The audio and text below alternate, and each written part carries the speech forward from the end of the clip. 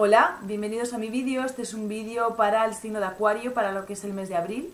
Bueno, decirte, Acuario, que estás en un momento eh, a nivel, sobre todo, profesional, en el que te pueden estar surgiendo también, como al signo de Capricornio, muchas oportunidades. Es un momento eh, de trabajo muy interesante, un momento de mucha dinámica en tu vida, sobre todo, como te digo, la parte profesional.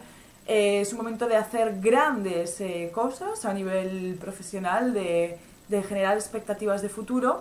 Sobre todo va a haber una parte que pueda estar relacionada con modernizar tu trabajo o poner cierta modernización a lo largo de este mes en tu, en tu vida, ¿no? Como pues, comprarte algún tipo de aparato electrónico o bien modernizar algún aspecto de tu parte laboral que pueda facilitarte las cosas.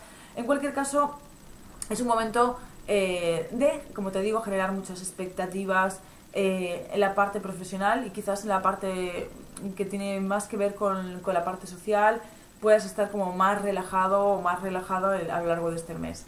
Pero va a ser un momento de mucha dinámica, de muchas propuestas, de, de muchas oportunidades, así que intenta no desaprovecharlas y, y bueno, espero que tengas un gran mes, Acuario. Cualquier cosa que necesites, cualquier detalle más concreto que necesites saber, me tienes aquí. Un saludo.